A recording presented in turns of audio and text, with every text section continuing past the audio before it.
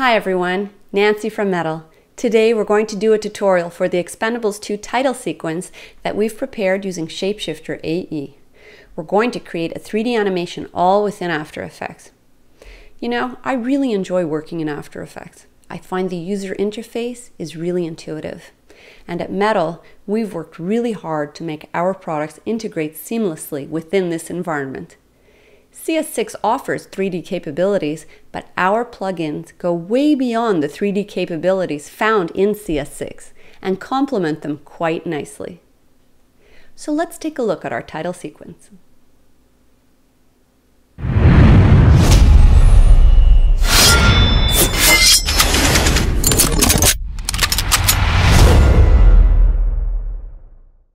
Let's start things off by looking at displacement mapping. It's one of the key features of Shapeshifter AE. The information from the displacement map creates the 3D information that you will use within After Effects. Here we have the 3D knife on the right and the displacement map on the left. If you look closely, you can see the subtle change in tone. This will vary the thickness of our knife and bring it to a point along the sharp edge of the blade. This was created in Photoshop. On the right, we have the texture map, also created in Photoshop. We found several different knife images and put them together to create this custom knife. We then created an alpha channel which we use as the outline for our displacement map. There's one thing I'd like to point out. The geometry count on the knife is 406,000 triangles. That's a lot, but Shapeshifter handles it with ease. Here, let's rotate this slightly so that you can see it as a 3D object. As the knife duplicates and fans out, each one is at a slightly different angle, always moving slightly. This adds depth and realism to our animation. It's not just a flat 2D image. Next is the skull. The displacement map was created in Photoshop as well. If you have access to a 3D program, you can also use Depth Map to create a grayscale image. This can then be imported into After Effects and used as a displacement map. Take a look at the jaw. There's quite a bit of detail in the displacement map as you can see in the rendered skull. Look at the shape of the skull now. We're using the alpha channel to determine the boundary of the geometry, which helps to shape the skull. We'll go back to the knife. For this part of the animation, one knife appears alone first. If we look further along the timeline, we can see 12 knives have been replicated. If we look closely, we can see that each knife has incremental 3D rotations over time. To create the other side, we simply use the After Effects mirror effect. This is a much more efficient way of getting this effect, since you render one side and flip it over, rather than doubling the amount of objects and geometry. Now, you can see that we use this same idea to replicate the guns. One object is created using a displacement map and a texture map, and then this object is replicated and distributed over time and space. Once the left side is done, we use the mirror effect for all the knives and guns. Now we will explain adaptive tessellation. All this really means is that Shapeshifter will add more or less polygons to a shape where necessary. So you can see in the flat area of this letter S, the geometry is simplified for faster rendering time.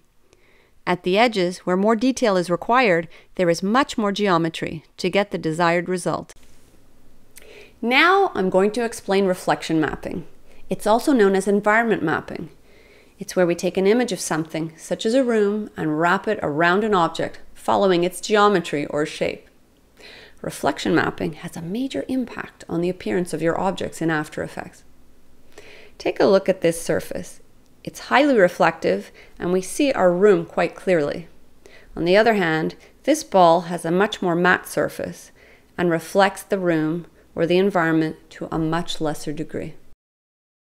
We're going to look at our skull again and see the different appearance that it has with and without a reflection map. On the left, you can see that the skull still has many details, but they are mainly light and dark areas from the light source. On the right, the skull is picking up information from the reflection map as well as the light source. This gives the impression that the skull is in an environment with other objects and looks more realistic as a result. Now we move on to material properties. You can see that there are seven settings. Again, these will help us simulate different surface properties that occur in the real world, like uh, glass, or metal, or even plastic. These settings control how the light in the scene affects the surface of your object. Here you can see how the settings affect the look of the skull. We run the range from 0 to 100 on a few settings to show you what happens. Two of these settings, opacity and reflectivity, need to be enabled in the feature set of Shapeshifter AE. First, we'll show you reflectivity. Go to Reflection Mapping and choose the layer which you want reflected onto your surface. You then go back to Material Properties where you can control the amount of reflectivity using the reflectivity slider. If you don't assign a reflection map, the slider won't be active. Next, we'll activate opacity. You need to go to the render quality settings and enable 3D transparency. Simple. Then you can control opacity with the material property setting. Let's compare 3D transparency to opacity. As you can see, the results are quite different. We'll move on to the generator, a built-in feature of Shapeshifter AE. We use this to replicate our knives and guns. You can replicate and animate each object. Let's take a look at all the replication that we did in this animation. It looks complex, but now you know that it's actually quite easy to do. Again, there are over 13 million polygons in all, and Shapeshifter handles all that geometry incredibly well. Now we look at the mirror effect. We have replicated objects on only one side, now that whole side is mirrored onto the other side using the After Effects mirror effect. This is a very efficient way of doing this animation. We minimize the amount of polygons and rendering time. Last but not least are the finishing touches. We use Knoll lens flares, Magic Bullet, and the Trapcode suite to get this finish. And that concludes this tutorial. Thanks for watching, hope you enjoyed it, and we'll see you soon.